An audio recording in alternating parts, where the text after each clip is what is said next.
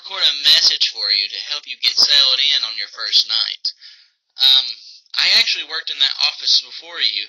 I'm finishing up my last week now, as a matter of fact, so I know it can be a bit overwhelming.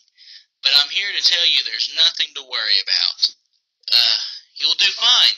So let's just let's just focus on getting you through your first week, okay? Uh, let's see. First, there's an introductory greeting from the company that I'm supposed to read. Uh, it's kind of a legal thing, you know. Um, welcome to Freddy Fazbear's Pizza, a magical place for kids and grown-ups alike, where fantasy and fun come to life. Fazbear Entertainment is not responsible for damage to property or person. Upon discovering that damage or death has occurred, a missing person report will be filed within 90 days, or as soon as property or and premises have been thoroughly cleaned and bleached, and the carpets have been replaced. Blah blah blah. Now that might sound bad, I know, but there's nothing really to worry about. Uh, the animatronic characters here do get a bit quirky at night, but do I blame them? No.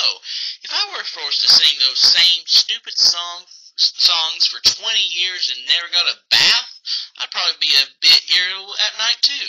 So remember, these characters hold a special place in the hearts of children, and we need to show them a little respect, right?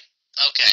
So just be aware that characters do tend to wander a bit, uh, they're left in some kind of free roaming mode at night. Uh, something about their servos being locked up if they get turned off for too long.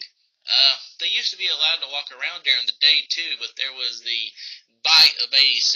Yeah, it, it's amazing that the human body can live out with live without a frontal lobe, you know.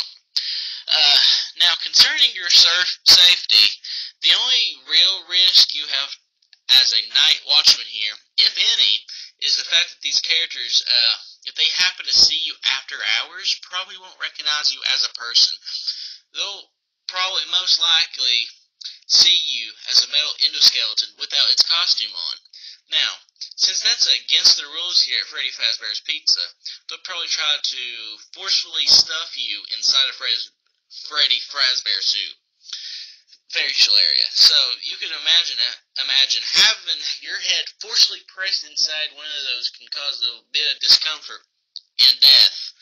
Uh, the only parts of you that would won't likely see the light of day again will be your eyeballs and teeth when they pop out in front of the mask.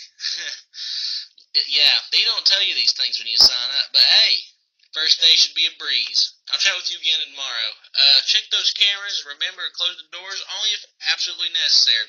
Gotta conserve power. Alright.